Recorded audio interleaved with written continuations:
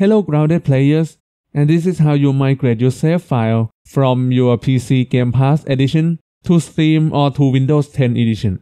First, you launch Grounded PC Game Pass edition. Then go to your save file that you want to export. Select your save. Press T button to export your save file. Close your game. Then navigate to your file browser.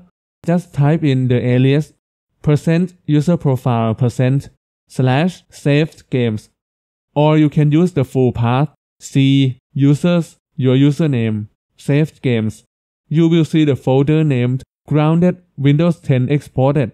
You enter this folder and then copy the save game inside it. Then you go back from that folder.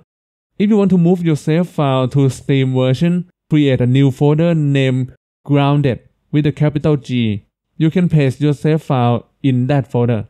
If you want to move to Grounded Windows 10 Edition, you create a folder named Grounded Windows 10 with a capital G and W and paste your save file there. And it's done.